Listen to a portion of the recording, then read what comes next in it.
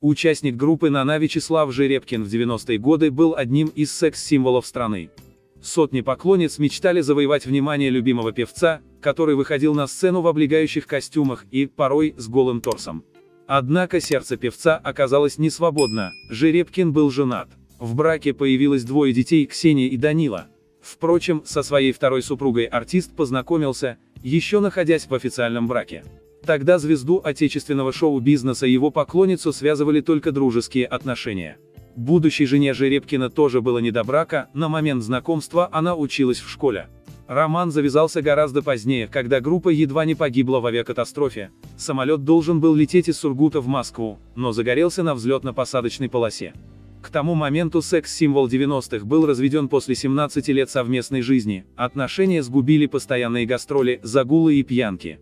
Вторая жена подарила Жеребкину четверых детей, но один из малышей столкнулся с неизлечимым заболеванием. Денис, появившийся на свет в 2016 году, оказался болен диабетом. Страшный диагноз супруги узнали, когда мальчику было около трех лет. Однажды ребенку стало плохо, и Татьяна вызвала скорую помощь.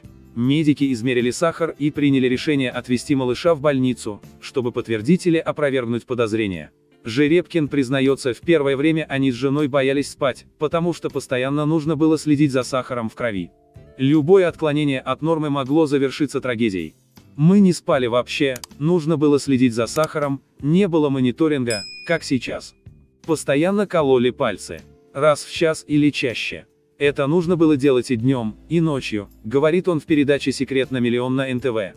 Рассказывая о маленьком сыне, вынужденном жить с диабетом, Вячеслав Пантелеевич смахнул скупую слезу и не смог сдержать эмоций. Он маленький. И такая болезнь. Лучше бы мне такое. Ему-то зачем, за что все. Распереживался он. А маленький Денис принял собственную судьбу, в отличие от именитого отца. Он привыкает постоянно следить за здоровьем и уже самостоятельно умеет вводить необходимые препараты. Бывает, просто поднимается, а бывает от еды, конфеты, суп, каша. Это углеводы, их нужно считать и вводить инсулин. Мама мне считает. Она говорит, сколько, и я уже сам вожу, рассказывает мальчик.